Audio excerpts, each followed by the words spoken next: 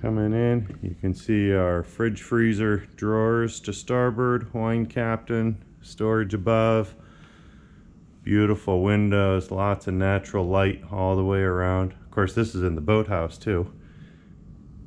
Full beam galley. Got your cooktop under here, three burner, electric cooktop, convection oven below, more storage up above pop-up TV on starboard with your entertainment center. Beautiful dinette that folds out to make the table twice as big, also drops down to become a coffee table.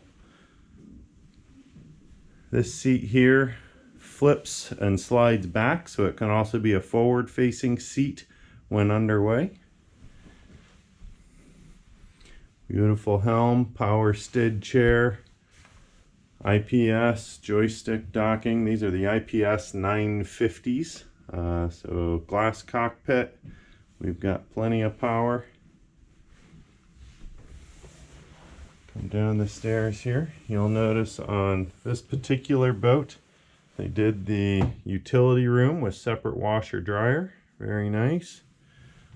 We have the scissors berths forward. House can come together to make one large berth your guest head, separate shower, and as we turn aft into our master stateroom, master head to our starboard, we've got a little heater out here.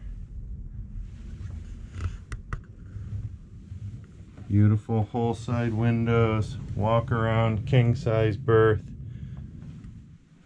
very nice. You've got lots of room to walk around on either side. See your TV, large sofa, whole side windows, hanging locker, and here we have our master head. Separate shower beautiful finish in here. Very nice boat